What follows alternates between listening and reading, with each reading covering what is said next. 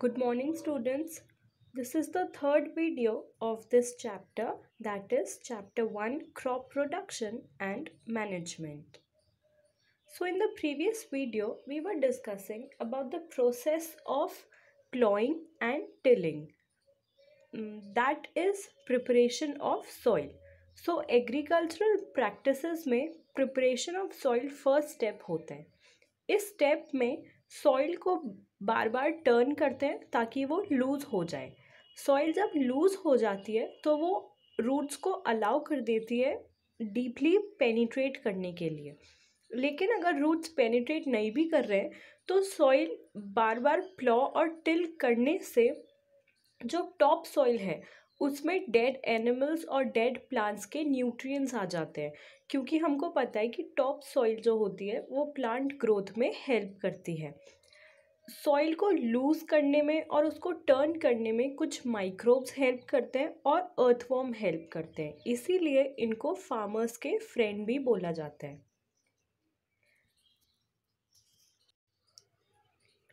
ये organisms soil के loosening में और उसके टर्निंग में कैसे हेल्प करते हैं और माइक्रोब्स जो होते हैं, वो प्लांट्स और एनिमल्स को डीकम्पोज करके न्यूट्रिएंट्स प्रोवाइड कराते हैं।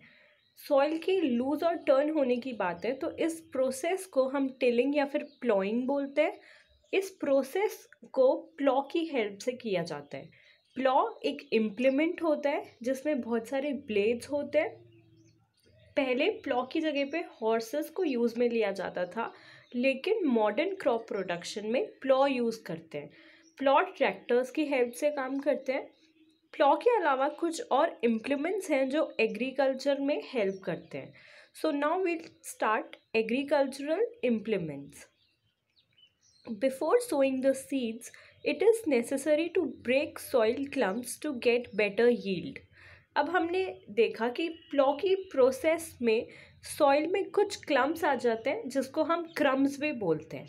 तो सो सीड्स सो करने से पहले इन क्लम्स को ब्रेक करना ज़रूरी होता है ताकि सॉइल को हम लेवल कर सकें फिर। This is done with the help of various tools अब ये क्लम्स को कैसे तोड़ा जाता है, कैसे ब्रेक किया जाता है, कुछ टूल्स की हेल्प से। The main tools use for this purpose are the plough hoe and cultivator तीन इम्प्लीमेंट्स यूज़ में लिए जाते हैं। फ़र्स्ट प्लॉ जो कि हम फ़र्स्ट प्रोसेस में, यानी कि प्रिपरेशन ऑफ़ सॉइल में पढ़ चुके हैं। सेकेंड इज़ हो जिसके बारे में हम आगे पढ़ेंगे और कल्टीवेटर के बारे में भी हम आगे इस चैप्टर में पढ़ेंगे। Starting with plough this is being use since ancient times for tilling the soil tilling मतलब सॉइल को टर्न करना ताकि वो सॉइल लूज हो जाए और उसमें जितने भी न्यूट्रिएंट्स हैं वो ऊपर आ जाए और रूट्स पेनिट्रेट हो जाए सॉइल के अंदर तक। तो सबसे पहले प्लॉ जो होता है, वो हम एंशंट टाइम मतलब बहुत पहले से यूज़ में ले रहे हैं सॉइल को टर्न करने के लिए। Adding fertilisers to the crop removing the weeds and turning the soil soil को टर्न करने के अलावा क्रॉप्स में जब फर्टिलाइज़र्स यूज़ करने होते हैं हमको, तब भी हम प्लॉ ही यूज़ में लेते हैं।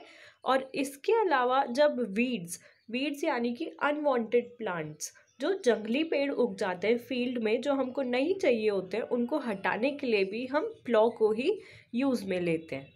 This is made of wood and is drawn by a pair of bulls और अदर एनिमल्स ये एक वुड से बना होता है, लकड़ी से बनाते हैं प्लॉ को। लकड़ी के अलावा आयरन से भी बना सकते हैं और इसको एनिमल्स ड्रैग करते हैं।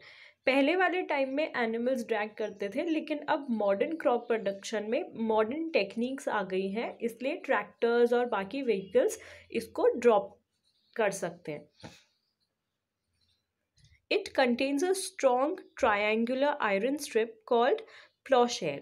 आप डायग्राम में देख सकते हो, इसमें एक बहुत ही लंबी सी ट्रायंगुलर रॉड जैसा स्ट्रक्चर है, जिसको हमने प्लॉशेयर बोला है the main part of the plough is a long log of wood which is called a ploughshaft उसके अलावा एक लंबा सा हैंडल आपको दिख रहा है डायग्राम में। उसको हम प्लॉशेफ्ट बोलते हैं। प्लॉ शेफ्ट एक ही साइड पर होता है। The other side is attached to a beam which is placed on the bulls neck दूसरी साइड आप देखो, एक बीम से अटैच्ड है जो कि बुल की नेक पर हमने लगाई है। सेम ट्रैक्टर्स में अगर हमने लगानी है ये प्लॉ तो हम ट्रैक्टर के आगे वाले पार्ट पर लगाएँगे। One pair of bulls and a man can easily operate the plough इस टेक्निक में दो बुल लगते हैं और एक आदमी इसको इजीली चला सकता है। The indigenous wooden plough is increasingly being replaced by iron ploughs nowadays अब मैंने आपको बताया कि ये या तो वुड से बन सकती है या फिर आयरन से बन सकती है। तो पहले ये वुड से ज़्यादा बनती थी, लेकिन अब वो रिप्लेस कर दिए गए हैं आयरन से। क्योंकि वो स्ट्रॉन्ग होती है और वो उसमें ब्रेकेज का डर नहीं होता। Next is hoe. It is a simple tool which is use for removing weeds and for loosening the soil hoe भी एक इंस्ट्रूमेंट ही होता है। सॉरी इक्विपमेंट ही होता है जो कि सॉइल को लूज़ करने में और उसको टर्न करने में हेल्प में लिया जाता है। इसके अलावा जो वीड्स होते हैं अनवांटेड प्लांट्स जो भी फ़ील्ड पर हैं, जंगली पेड़, जो हमको हमारे क्रॉप के साथ नहीं चाहिए, उनको हटाने के लिए भी हम हो को ही यूज़ करते हैं। It has a long rod of wood और आयरन इसमें भी एक लंबी सी रॉड होती है, वो या तो वुड से बनी हो सकती है या फिर आयरन से। A strong broad and bent plate of iron is fixed to one of its ends works like a blade it is pulled by animals आप डायग्राम में देख सकते हो, एक बेंट प्लेट है, एक रॉड है। रॉड हमने बोला कि ये वुडन हो सकती है या फिर आयरन से बनी हो सकती है। इसके अलावा एक बीम है हैंडल है उसको पकड़ने के लिए और ग्रिप भी दे रखी है ताकि हम उसको बेटर ग्रिप के साथ पकड़ सकें जो बेंट प्लेट है वो ब्लेड की तरह काम करती है so this is hoe next Next is cultivator. Nowadays, plowing is done by tractor driven cultivator. The use of cultivators saves labor and time. Plough के डायग्राम में अभी हमने देखा था कि उसको दो बुल पुल कर रहे थे और एक आदमी उसको चला रहा था। लेकिन उससे क्या होता है लेबर बढ़ जाता है और टाइम भी बहुत लगता है क्योंकि टेक्नोलॉजी या फिर किसी भी मशीन की स्पीड एक आदमी से ज़्यादा ही होती है। इसीलिए प्लॉ की जगह पर आजकल कल्टीवेटर्स यूज़ में लिए जाते हैं क्योंकि ये ट्रैक्टर्स से चलते हैं। तो कल्टीवेटर्स यूज़ करने से क्या होता है लेबर भी बचता है और टाइम भी बच जाता है। So, let's move to another basic practices of agriculture that is sowing. सबसे फ़र्स्ट प्रैक्टिस जो हमने एग्रीकल्चर में पढ़ी वो थी preparation of soil now we'll talk about sowing sowing is an important part of crop production ये भी एक इंपॉर्टेंट पार्ट है क्रॉप प्रोडक्शन का. Before sowing good quality clean and healthy seeds of a good variety are selected sow करने से पहले सो क्या करते हैं? सीड्स सो करेंगे हम तो सीड्स पहले सेलेक्ट करने पड़ते हैं। उनकी क्वालिटी देखनी पड़ती है कि कौन से अच्छे सीड्स हैं और कौन से ख़राब सीड्स हैं। तो जो अच्छे वाले सीड्स होते हैं, उनको हम सेलेक्ट कर लेते हैं। फिर उनको क्लीन करते हैं, साफ़ करते हैं and healthy seeds of a good variety are selected healthy seeds को हम सेलेक्ट करते हैं जिनमें बहुत सारी वेराइटी हो, एक ही टाइप के नहीं हो। Farmers prefer to use seeds which give yield high farmers वो वाले सीड्स प्रेफर करते हैं जो कि हाई यील्ड दें। उनका क्रॉप प्रोडक्शन अच्छा हो और वो ज़्यादा क्वांटिटी में प्रोड्यूस हों। Selection of seeds. Activity 1.1 Take a beaker and fill half of it with water. एक बीकर लेनी है, एक कंटेनर लेना है और उसको आधा पानी से भर देना है। Put a handful of wheat seeds and stir well एक मुट्ठी वीट सीड्स हमको उसमें डालने हैं और उसको अच्छे से मिक्स करना है। वेट फॉर सम टाइम कुछ टाइम के लिए आपको रुकना है। Are there seeds which float on water और आपको ये देखना है कि क्या कुछ सीड्स ऊपर पानी में तैर रहे हैं। वुड दोज बी लाइटर और heavier than those which sink तो जो आपको पानी में ऊपर तैरते हुए दिखेंगे, आपको ये बताना है कि वो ज़्यादा भारी है या हल्के हैं उन सीड्स के कंपैरिजन में जो कि वाटर के नीचे बैठे हैं।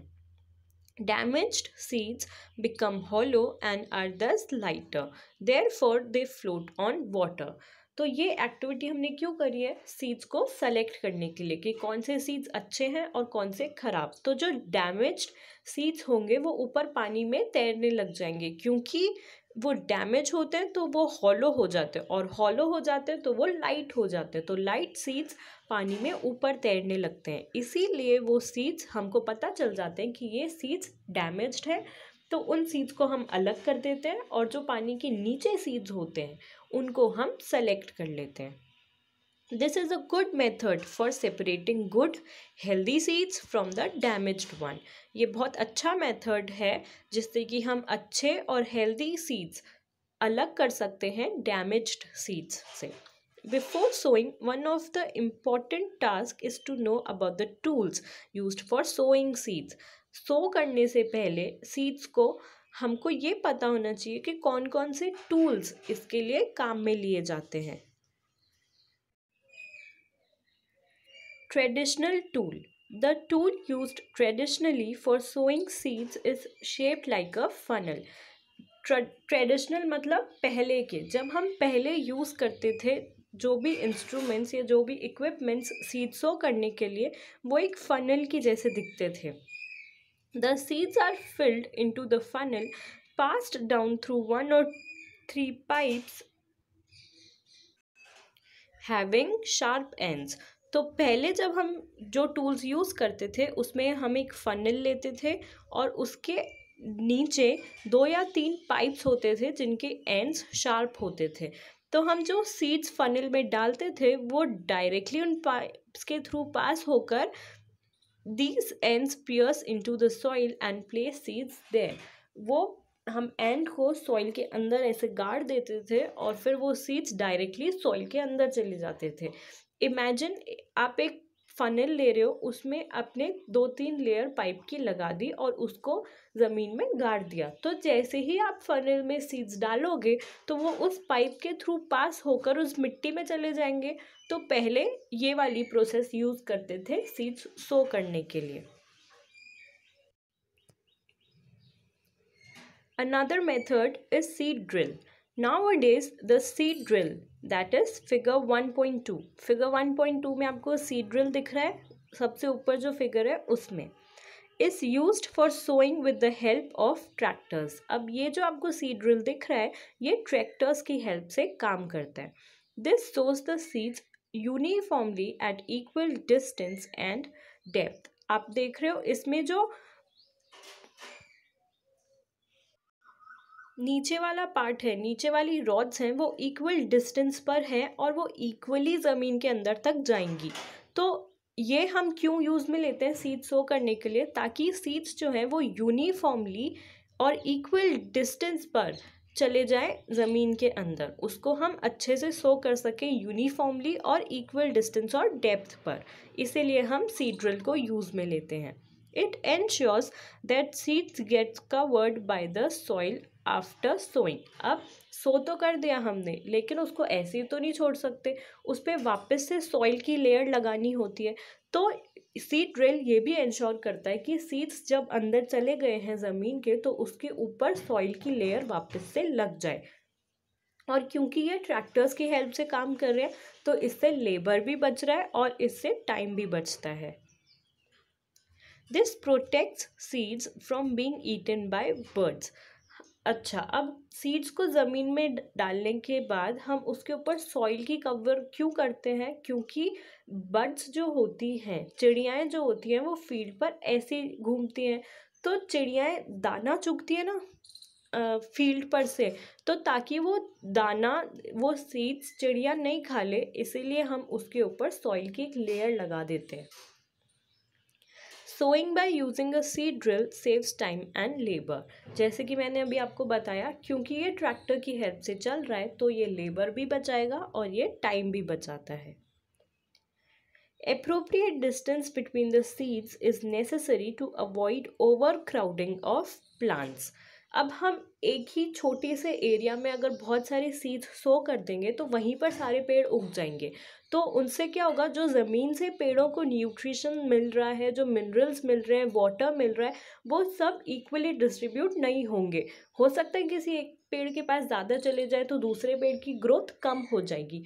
इसीलिए ज़रूरी होता है कि हम सीड को इक्वल डिस्टेंस पे लगाएँ, ताकि उनको अपना अपना न्यूट्रिशन और अपना मिनरल्स और वाटर इक्वली मिले। इसके अलावा उनकी ओवर क्राउडिंग भी नहीं हो। एक ही जगह पर सारे जमा नहीं हो। This allows plants to get sufficient sunlight nutrients and water from the soil और इससे प्लांट्स को सफिशेंट सनलाइट भी मिलती है न्यूट्रिशन भी मिलता है और वाटर भी मिलता है सॉइल में से। At times, a few plants may have to be removed to prevent overcrowding. अब ज़रूरी नहीं है कि हम वीड प्लांट्स ही हटा रहे हैं कभी कभी हमको नॉर्मल अच्छे प्लांट्स भी हटाने पड़ते हैं ताकि ओवर क्राउडिंग नहीं हो। क्योंकि एक पेड़ हटाने से अच्छा है। सॉरी सारे पेड़ एक दूसरे की वजह से डैमेज हो जाने से ये बेटर है कि हम एक ही प्लांट को हटा दें। ओवर क्राउडिंग रोक दें खुद ही। सो so, ये सेकेंड स्टेप था sowing in the next video we will talk about adding manures and fertilisers